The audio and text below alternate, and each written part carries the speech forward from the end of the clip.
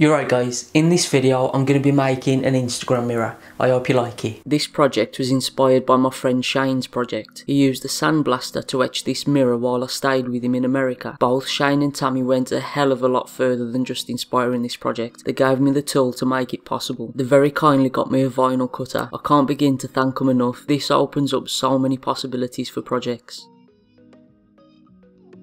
I used the vinyl cutter to cut my Instagram design. I created the design by taking a screenshot on my phone and then I traced the icons.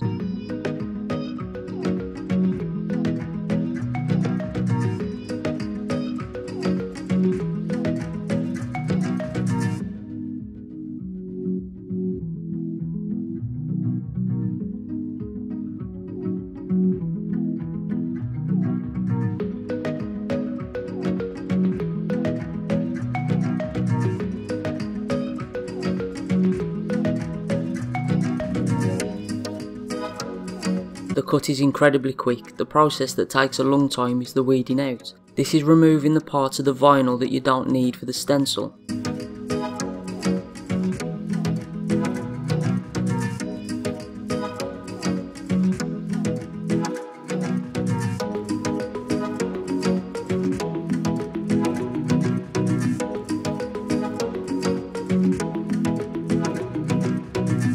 With the weeding done, it's time to add the transfer tape. This is like a really wide roll of masking tape. It sticks to the vinyl and keeps everything in place when you remove the vinyl from its backing.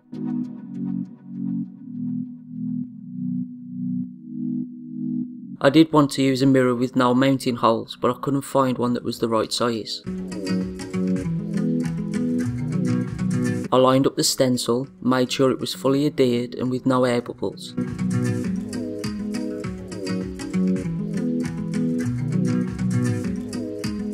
Then remove the transfer tape.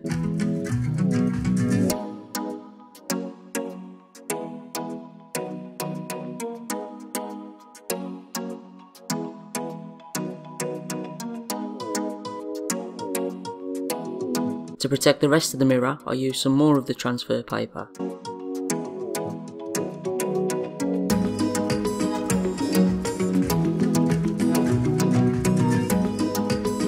I don't have a big compressor so I brought this small airbrush compressor from Amazon. I also got an air eraser for the sandblasting. It gets filled with aluminium oxide powder.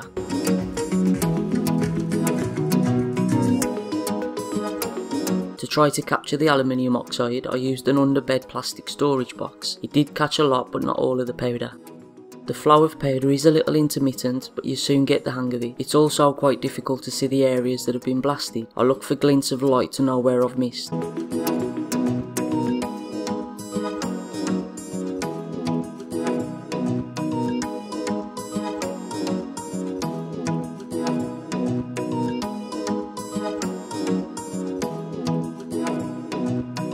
I go over the rest of the design in the same way.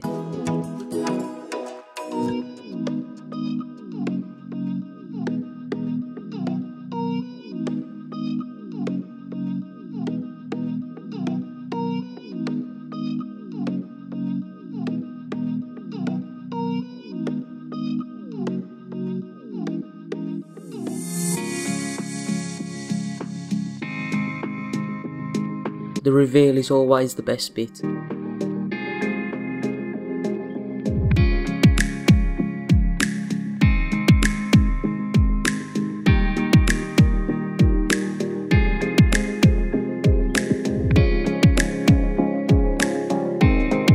As you can imagine I had a really hard time photographing and videoing the mirror.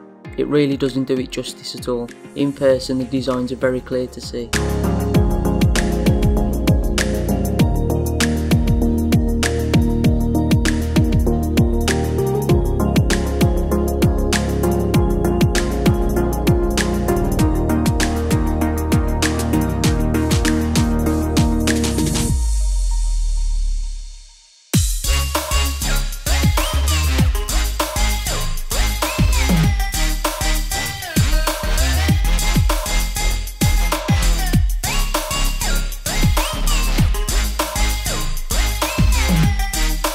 Being an Instagram mirror, I had to do the obligatory selfie and duck lips. I've added the design on top so you get a better idea of the overall look. So that's it guys, I really hope you liked that one. Sorry about the quality of the images and videos at the end, but as you can imagine, trying to get photos of a mirror, it was a nightmare with the reflections and everything like that. But I hope you get the idea of the overall project, and I do hope that you liked it, and I hope you've been inspired too. If you did like it, please give it a thumbs up. If you didn't, give it a thumbs down. If you want to share the video with your friends, please go ahead, that also helps me out a hell of a lot too. Please click the subscribe button and click the bell icon to get notifications. I'm going to put some videos up on the screen that you might be interested in watching, so give them a click. You never know, you might find them interesting. Thank you all for watching again.